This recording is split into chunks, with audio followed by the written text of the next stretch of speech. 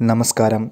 വിശ്വാസവും അന്ധവിശ്വാസവും മിത്തുകളുമൊക്കെ കൂടിച്ചേർന്ന ഒരു സംസ്കാരമാണ് ഭാരതത്തിന്റേത്. അതുകൊണ്ട് തന്നെ അത്ഭുത പ്രവൃത്തികൾക്കും ആൾദൈവങ്ങൾക്കും ഇവിടെ പഞ്ഞമില്ല. ദുഷ്ടശക്തികളെയും ശിഷ്ടശക്തികളെയും ഒരേ സ്ഥാനം കൊടുത്ത് ആരാധിക്കുന്നതും നമുക്ക് കാണാനാവും. ഇപ്പോഴും ആയിരങ്ങളുടെ മനസ്സിൽ ജീവിച്ചിരിക്കുന്ന ഒരു ഇതിഹാസത്തെക്കുറിച്ചാണ് ഇവിടെ പറയുന്നത്. മധ്യപ്രദേശിലെ മൗ എന്ന പ്രദേശത്തുള്ളവരുടെ മനസ്സിൽ മായാതെ നിൽക്കുന്ന താന്തിയാഫിൽ എന്ന ഇതിഹാസമാണത്. പണക്കാരുടെ കണ്ണിലക്കാരടും പാവങ്ങൾക്ക് ദൈവതുല്യനുമായിരുന്ന കായംകുളം കൊച്ചുണ്ണി എന്ന കള്ളൻ ഇതിഹാസമായി മാറിയ കഥ നമുക്കെല്ലാം അറിയാം. അതേപോലെ ബ്രിട്ടീഷുകാരുടെ തലവേദനയായിരുന്ന താന്ത്യാഫിൽ എന്നയാൾ ഇന്ത്യൻ റോബിൻഹുഡ് എന്നറിയപ്പെട്ടിരുന്ന താന്ത്യ ബ്രിട്ടീഷ് സേനയ്ക്ക് എന്നും ഒരു തലവേദനയായിരുന്നു. ജാൽഗാവ് മുതൽ മൗ വരെ താന്ത്യയുടെ പ്രശസ്തി പരന്നു. ഈ പ്രദേശത്തുള്ള പാവങ്ങൾ ആ ഇതിഹാസത്തിന് ദൈവമായി കണ്ട് ആരാധിക്കുകയും ചെയ്തു. ബ്രിട്ടീഷുകാരെ കൊള്ളയടിച്ചു കിട്ടുന്ന സമ്പത്ത് മുഴുവൻ താന്ത്യ ആ പ്രദേശങ്ങളിലെ പാവപ്പെട്ട ജനങ്ങൾക്ക് വീതിച്ചു നൽകിയിരുന്നു. ഒടുവിൽ സഖികെട്ട ബ്രിട്ടീഷുകാർ താന്തിയെ പിടികൂടുന്നവർക്ക് സമ്മാനത്തുക പ്രഖ്യാപിക്കുക പോലും ചെയ്തു.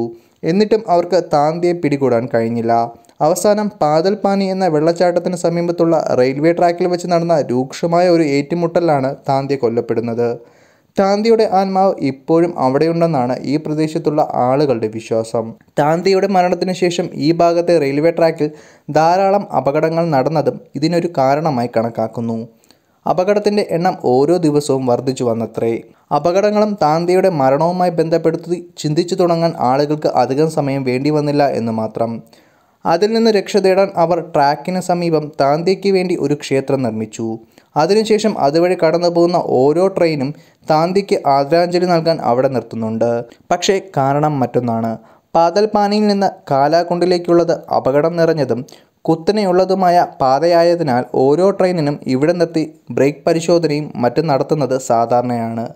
ഈ സമയത്ത് തന്നെ അടുത്ത് തന്നെയുള്ള താന്തിയുടെ ക്ഷേത്രത്തിലേക്ക് നോക്കി ട്രെയിനിലിരിക്കുന്ന ആളുകൾ കൈകൂപ്പുകയും പ്രാർത്ഥിക്കുകയും ചെയ്യുന്നു. അവരുടെ വിശ്വാസം തങ്ങൾക്ക് പ്രാർത്ഥിക്കാൻ വേണ്ടി മാത്രം ട്രെയിൻ ഇവിടെ നിർത്തിക്കൊടുക്കുന്നു എന്നാണ്. വെബ് ഡെസ്ക് തത്വമേ ന്യൂസ്.